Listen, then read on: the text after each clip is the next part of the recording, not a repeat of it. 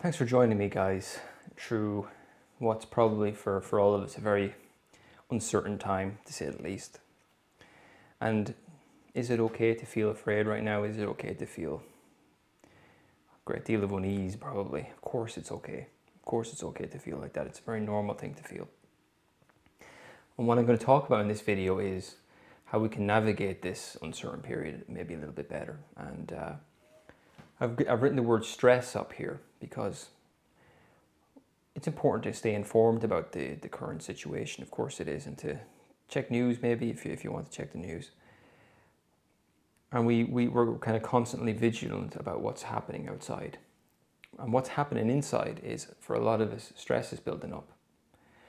And I'm going to talk about the effects that stress has on of course, your mental health, but on your immune system. And I'm going to kind of make a case here for okay, stay informed, don't be in denial about what's going on outside. But if we can start to reduce the stress levels throughout this entire experience, there's enormous benefit for us in that, not only in terms of our mental health, but also our physical health and our immune system. To kind of drive that point forward or home, I want to say, just for imagine hypothetically, just imagine that there was no external situation going on right right now. Okay, uh, the the news and all that changes and nothing's happening. It's hypothetically. But in this hypothetical situation, you still have stress. Well, what will happen is, I'm going to talk about what will happen.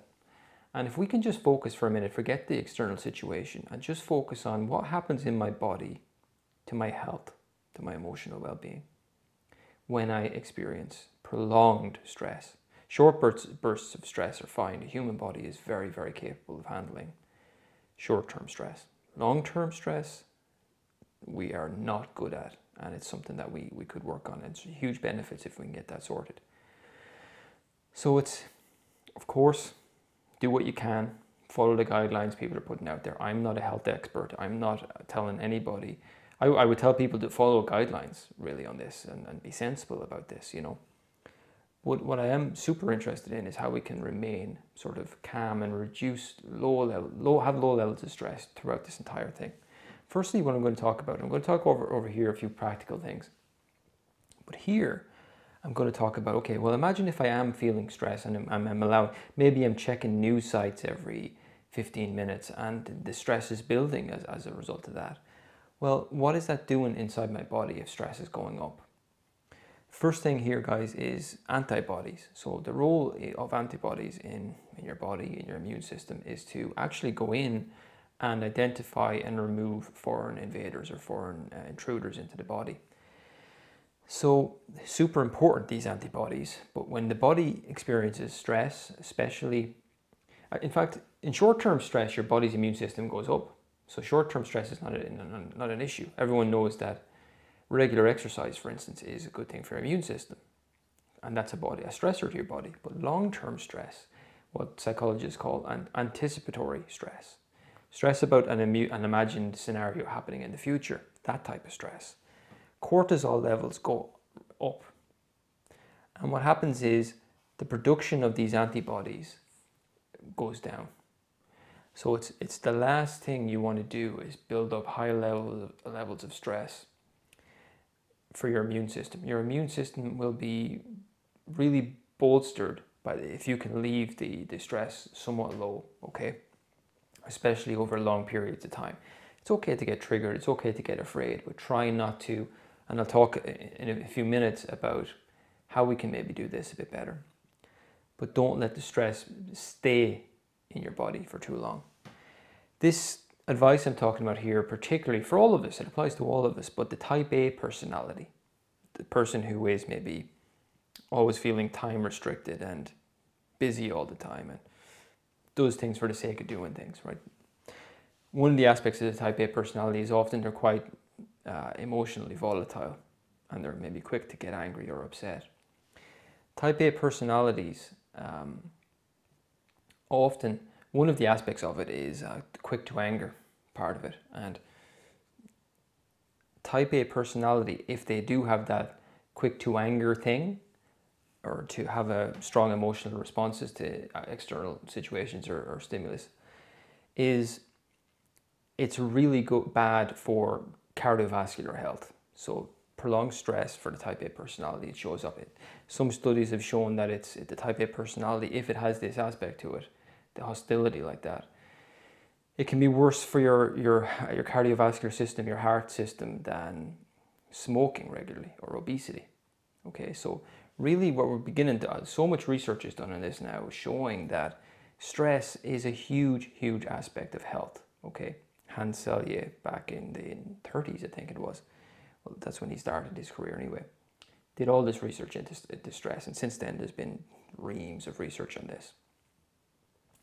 Another thing that shows that uh, stress is very, very important in terms of our health is what it does to digestion. So when you get stressed, prolonged stress, anticipatory stress, for a lot of people, it'll, it'll eventually start to go into their digestive system and you, they might get uh, develop ulcers, really what's happening with ulcers is the bacteria in the stomach isn't being generated anymore and that bacteria is used for to repair the body so you'll know yourself if you ever feel stressed maybe you're giving a speech or something that your, your mouth gets dry and you, you lose your appetite so digestion is, is suppressed during this and the absorption of food if we're in prolonged stress goes down. We don't get the nutrients from the food that we normally do, and that's very detrimental for our immune system, again, if it's prolonged. So, with all of that said, there's other things too. I mean, think about it. Um, one thing we know growth hormone goes down when we're in prolonged stress. We get there's hair loss, there's high blood pressure, cardiovascular disease, all these things. Very detrimental for our health. So, I hope I've made the point here because it's not me making the point. There's reams, as I said, of research on this that say when stress is prolonged for long periods of time, anticipatory stress, your immune system gets suppressed. So, what if we just focus, or at least put some of our focus, I would say a lot of our focus, into let's just try to remain calm. Let's just see if I can practice daily things that will keep my stress levels low and it'll do wonders for my health. Of course, I'll stay informed and I'll do any practical things that are sensible. But really, that's not that complicated. You know, what is more complicated is the human body's response to stress because so many of us are experiencing it and it's a normal thing. But good news on this is that your body, when you start to get a handle on stress, if there has been any suppressed immunity or anything like that, your body is remarkably good at coming back at restoring its health and building up its immune system again. It's very, very quick to do that. So, a few things I would say are I'm going to put this over here in blue. These are like more practical things that we can start to think about, right? The first of them is to just become aware. So, when we're re- watching the news or watching TV or reading articles or on Twitter or we're doing whatever we're doing, you know, become aware of okay, I'm going to be informed, but the, what's in my control right now, what's a super important thing for me, is this not to be experiencing too much stress in all of this. And if I become aware of it, I'm going to say, I'm going to start to take practical measures now. I'm going to find something in my life that helps me with stress. And that could be, you know, practical things. I'll talk about some of those now as well, but find some kind of an approach for yourself. I mean, I'm working on online courses, and those courses are designed to help a lot of my clients with this, the different various stressors that they feel. And I'm actually working on a new approach. Um, Mediset therapy. It's an entire approach to stress, and uh, that. So that's just an example, really. But find something to be to become aware of how important this issue is, and I'm going to start doing things for it, right? The news, okay I'm going to talk about checking the news. So if, again, there's nothing wrong with checking the news, it's good to be informed. But before you check the news, maybe just check check the news mindfully, okay? Before I, I go online, okay? I'm to do some breathing and remind myself the purpose of this is to just stay informed so that I can I can help myself stay safe and help my community.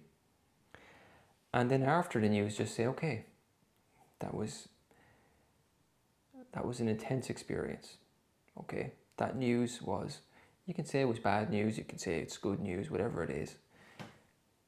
But just do it mindfully and then just breathe after that and make sure that you check in with your body after you check the news. And maybe if you're checking the news, you know, too many times every day, scale that back. Stay informed, but just scale it back a little bit. Another thing I'm going to talk about here is related to this, and it's the, the, the type of media that we're, we're checking, okay? So anyone who is talking about doom, okay? Now, this point I'm going to make here is I'm not saying in this video everything's great, okay? But what I am saying is I personally can't predict the future. And I bet most of the people watching this video, if they're honest with themselves, will agree that they too cannot predict the future.